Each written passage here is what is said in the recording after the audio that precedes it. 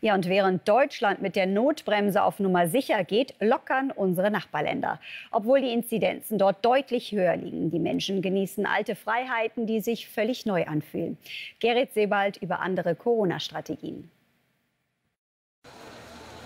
Deutschland dicht, die Niederlande nicht. Trotz höherer Inzidenzen, Ausgangssperre aufgehoben, Außengastronomie wieder offen, Shoppen ohne Termin.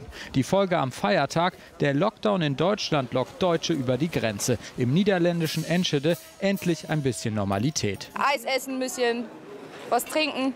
Wir sind nicht eingesperrt, so wie bei uns. Leute sehen, ein bisschen Normalität haben. Noch normaler machen es die Briten. Feiern, als gäbe es keine Pandemie. In Liverpool wird das erste Mal seit Corona wieder in den Club gegangen. 3000 Gäste dürfen wieder. Musik ohne Maske, abtanzen ohne Abstand. Es ist ein Test, bei dem natürlich alle getestet sind. Die britische Regierung will herausfinden, ob und wie Großveranstaltungen wieder möglich sind. Es ist so lange her, dass es sowas gab. Es fühlte sich auch nicht so an, als würde es sowas wieder geben. Es ist unbeschreiblich. In den USA muss Mickey Mouse zwar noch Maske tragen, und auch Abstand ist noch angesagt, aber auch in Kalifornien stehen die Zeichen für Zeichentrick-Fans auf Lockerung. Das erste Mal seit 13 Monaten ist Disneyland wieder offen.